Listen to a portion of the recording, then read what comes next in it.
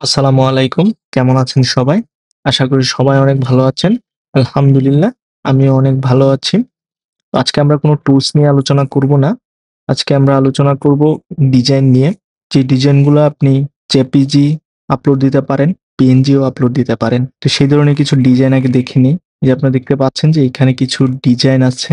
এরকম কিছু ডিজাইন আছে এখানে যেগুলা ব্লাক ব্যাকগ্রাউন্ডের উপর এবং এইরকমই আরেকটা ডিজাইন আছে যেটা হচ্ছে পিএনজি দেখতে পাচ্ছেন? এটা একটা পিএনজি ইমেজ তো এরকম আপনি কিছু ডিজাইন আপলোড দিতে পারেন পিএনজি এবং জেপিজি চাইলে পিএইচডি ফাইলও আপলোড দিতে পারেন। যেহেতু আমরা কাজগুলো ফটোশপে করব, সেহেতু আপনি পিএইচডি ফাইলও আপলোড দিতে পারেন।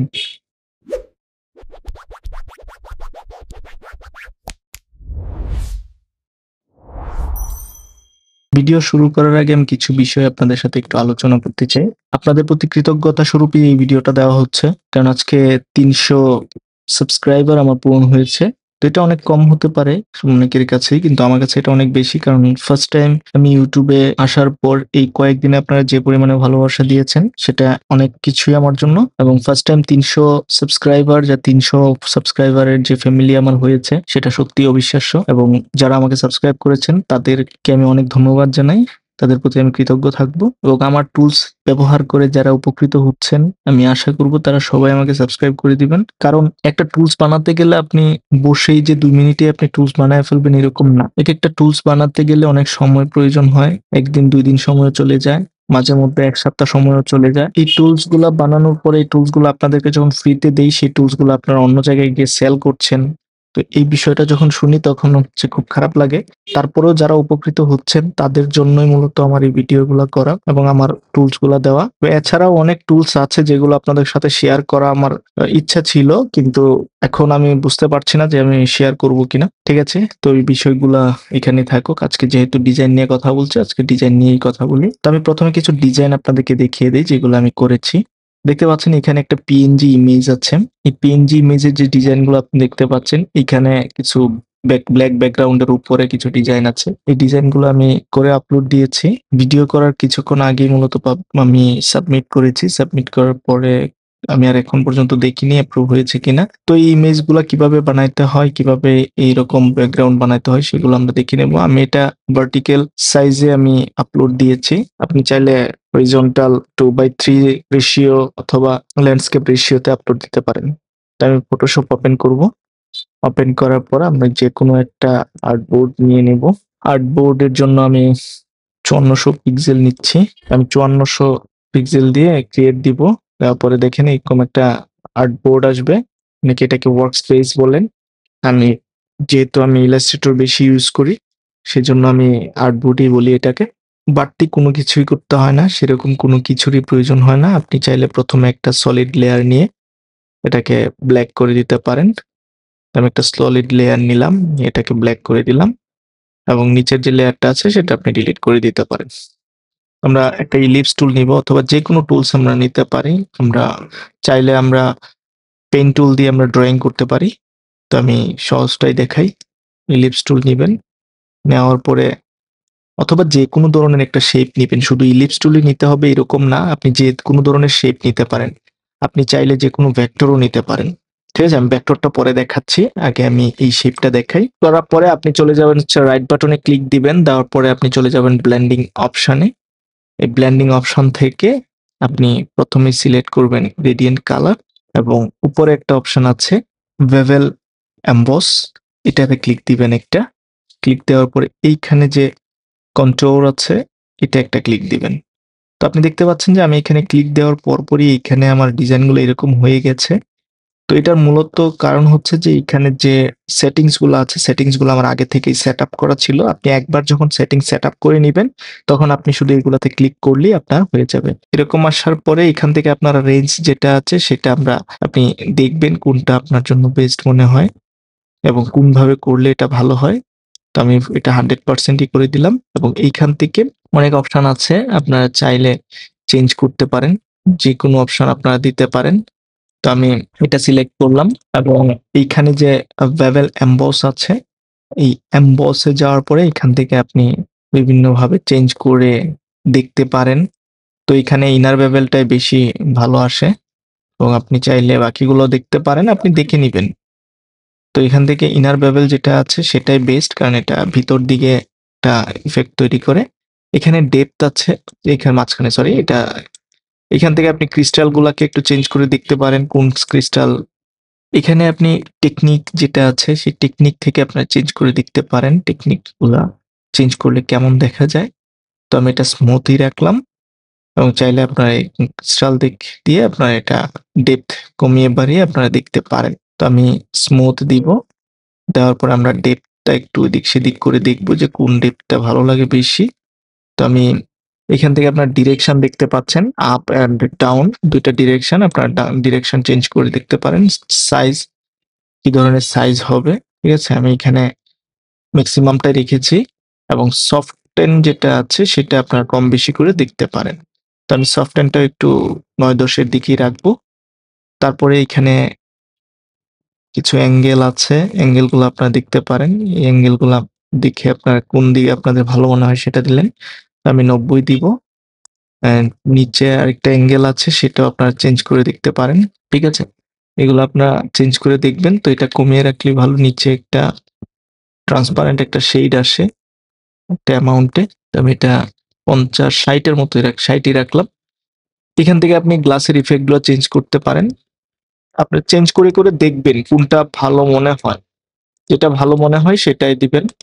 তো আমার এখানে দুইটাই ভালো লাগতেছে, আমি একটু এটা দেখি, এটাও ভালো। সেইটাই রাখলাম। তো এখান থেকে মোড যেটা আছে সেটা আপনি চেঞ্জ না করলেও চলবে, ঠিক আছে? নিচে যেগুলো আছে এগুলো এইভাবে রাখবেন। এখানে অপাসিটি যেটা আছে সেটা এরকমই থাকুক। আর নিচের যেটা আছে শ্যাডো মোড শ্যাডো মোডের অপাসিটি আপনি হান্ড্রেড পার্সেন্টই করতে পারেন। তবে একটু কমিয়ে রাখবেন, যেন হালকা একটু পিছনে একটু এরকম গ্লাসি গ্লাসি একটা ভাব আসে গ্লাস ইফেক্ট তৈরি হয়। তো এটা দিলেন, তারপরে আপনি এটা মেক ডিফল্ট করে দিতে পারেন। এবং নিচে যে গ্রেডিয়েন্ট আছে, সেখান থেকে আপনি গ্রেডিয়েন্ট কালার চুজ করতে পারেন, আপনার ইচ্ছা মতো যে কোনো কালার তো আমি এরকম একটা কালারই চুজ করলাম। তো আমি ওকে দিব। ওকে দেওয়ার পর দেখতে পাচ্ছেন যে এটা একটা শেপ আসছে। তো এখন আমি একটা মাস্ক ইউজ করব এটাতে। এখানে নিচে দেখতে পাচ্ছেন যে লেয়ার মাস্কের অপশন লেয়ার মাস্কে ক্লিক করলে এখানে একটা লেয়ার মাস্কের একটা অপশন আসবে। তখন আপনি এখানে ক্লিক করে কাজ কাজ করলে কাজ হবে না। আপনাদের এই যে সাদা যে বক্সটা আছে, এই বক্সের উপরে ক্লিক করলে এটা সিলেক্ট অবস্থায় থাকবে। তখন আপনি ব্রাশ টুল আছে, এই ব্রাশ টুলে ফরগ্রাউন্ড কালার ব্ল্যাক দিয়ে আপনার কাজ করবেন।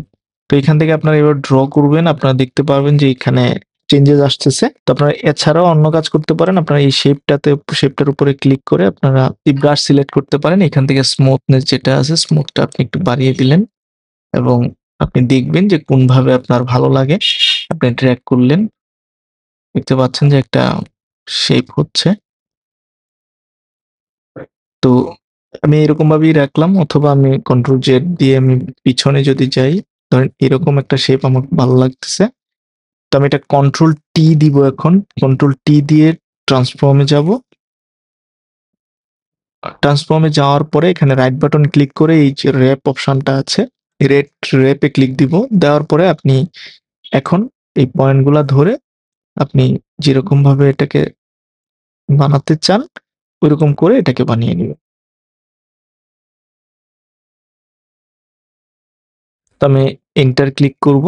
ক্লিক করার পরে আপনারা দেখতে পাচ্ছেন যে একটা শেপ তৈরি হয়েছে, ঠিক আছে? একটু দূর থেকে এরকম দেখা যাইতে পারে, কিন্তু আসলে এরকম কোনো কিছুই না। জুম করলে বোঝা যায় যে এখানে কিছুই নেই।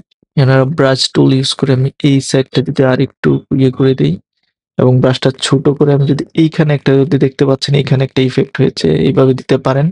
আপনারা এভাবে ট্র্যাক করে এরকম করতে পারেন। তো এটা আপনার উপরে আপনি কীভাবে সাজাবেন এটাকে, সেটা টোটালি আপনার উপরে। ধরেন আমি এটাকে এখানে রেখে দিলাম। রেখে দেওয়ার পরে আমি আরেকটা এলিপস টুল নিব। আচ্ছা ইলিপস টুল না দিয়ে এখন আমি স্টার টুল নিই, ঠিক আছে? এই স্টার টুলটা নিলাম আমি। এখান থেকে আমি কালারটা এটা চেঞ্জ করে দিই, যাতে দেখতে সুবিধা হয়। একটা স্টার টুল নিয়েছি আমি। কমিয়ে বাড়িয়ে নিয়ে এটাকে আপনি চেঞ্জও করতে পারেন। তো আমি এখানে আর এটাকে চেঞ্জ করব না। আমি পাঁচটা যেটা ছিল পয়েন্ট আমাদের পাঁচটাই থাকবে। তো আমি রাইট বাটনে ক্লিক করে আবার ব্লেন্ডিং অপশানে চলে যাব। এবং এটাকে ক্লিক দিব একটা এবং এই গ্রেডিয়েন্টটাতে ক্লিক দিব একটা দেওয়ার পরে এখানে আমি কন্টিনিউয়াস ক্লিকস দিব। ক্লিক দেওয়ার পরে আপনি দেখতে পাচ্ছেন যে এখানে আমার ইফেক্ট তৈরি হয়ে গিয়েছে। আমি এখান থেকে গ্রেডিয়েন্ট ওভারলে থেকে আমি গ্রেডিয়েন্টটা চেঞ্জ করে দিব।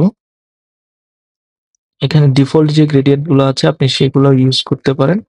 চাইলে আপনি অন্য গ্রেডিয়েন্টও ইউজ করতে পারেন। তো আমি এখান থেকে এটা দিলাম, ওকে দিব এবং ওকে দিলাম। দেখতে পাচ্ছেন যে একটা ইফেক্ট এখানে তৈরি হয়েছে। এখন আমি যদি এটাকে লেয়ার মাস্ক করি, করার পরে আমি এখান থেকে ব্রাশ টুল দিয়ে আমি এখানে একটা ক্লিক করি তো দেখতে পাচ্ছেন যে একটা ইফেক্ট তৈরি হয়েছে। এই কর্নারে ক্লিক দিলাম একটা ইফেক্ট তৈরি হয়েছে। তো আমি এটাকে এভাবেই রাখলাম। এভাবে আমি একটা ইফেক্ট তৈরি করলাম। আমি এটা একটু কমিয়ে দিই এখানে একটা দিব, এখানে একটা দিব। দেখতে পাচ্ছেন একটা ইফেক্ট তৈরি হয়েছে অনেক সুন্দর। তো ইফেক্টটা তৈরি হওয়ার পরে আমি এখান থেকে কন্ট্রোল টি দিয়ে আমি যদি চাই যে এটাকে চেঞ্জ একটু র‍্যাপিং করব, সেটা করতে পারব। ঠিক আছে? এটা আপনার ইচ্ছে মতো আপনি করবেন। যেরকম ভালো লাগে। আমি এটা ধরে এভাবেই রেখে দিলাম। তো আমি আরেকটা ইলিপস টুল নিব। তো আপনার যে কোনো ধরনের শেপ আপনারা বানাতে পারেন। শেপ বানিয়ে আপনারা এটা করতে পারেন। ব্লেন্ডিং মোড থেকে আমি দুইটা সিলেক্ট করে দেবো এবং এই ওভারলে এটা সিলেক্ট করে দিব। দেওয়ার পরে আমি হচ্ছে গ্রেডিয়েন্ট ওভারলে থেকে চেঞ্জ করে নিব। কালারের সাথে একটু ম্যাচিং করে নিবেন। আমি কালারের উপর একটু জোর দিচ্ছি না আপাতত। আপনাদের যে কালার আপনাদের পছন্দ হয় সেই ধরনের কালার ইউজ করবেন। আমি এখানে ডিফল্ট যে কালারগুলো আছে, আমি সেই কালারগুলোই ব্যবহার করছি। আমি ওকে ক্লিক দিলাম। আমার কাছে একটু মনে হচ্ছে যে চেঞ্জ করলে বেটার হবে। তো আমি একটু চেঞ্জ করে দিই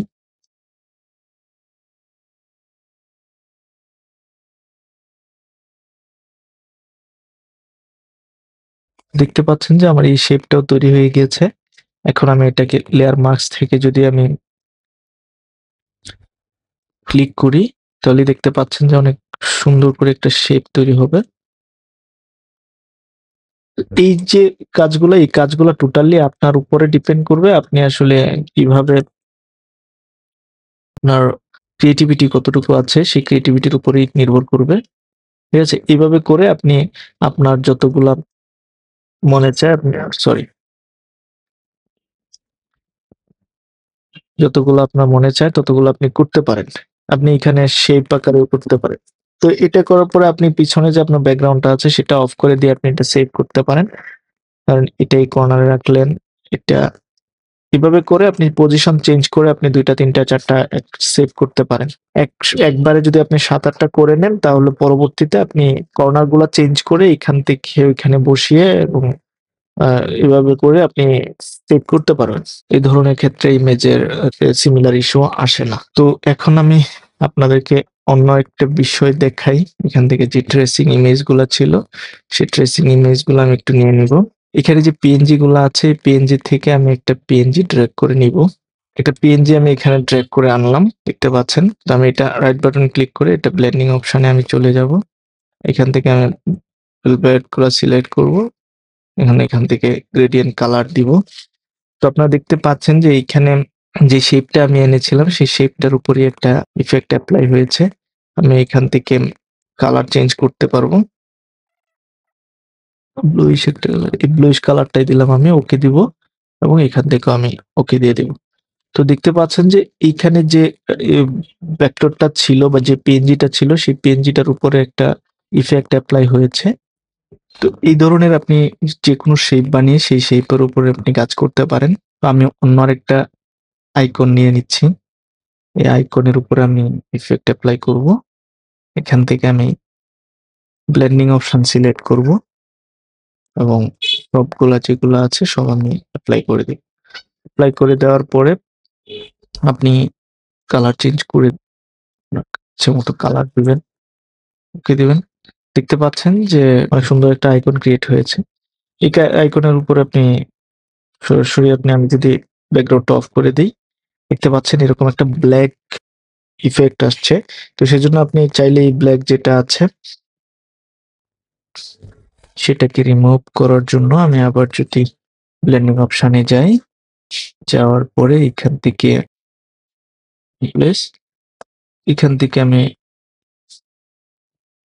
একটু চেঞ্জ করে দেখব। এটা দিয়ে অপাসিটি কমিয়ে রাখতে পারেন। এই যে দেখতে পাচ্ছেন যে একটা শেড আসছে। এটা আপনি একটু বাড়িয়ে রাখতে পারেন। হাইলাইট মোডটা এবং শেডো মোড যেটা আছে, সেটা আপনি এরকম সেভেন্টি ফাইভ মতো রাখতে পারেন। তো এখন দেখেন, একটা ডিজাইনটা অন্যরকম আসছে। আপনার চাইলে আরও কাস্টম করতে পারেন। এটা আপনাদের ইচ্ছা মতো আপনারা করবেন। এখানে তো বলার কিছু নাই। আমি শুধু মেথডটা বলে দিচ্ছি, আপনারা আপনাদের মতো করে করবেন ব্যাকগ্রাউন্ড থাকে পিছনে, তাহলে এটা দেখতে অনেক সুন্দর হয়।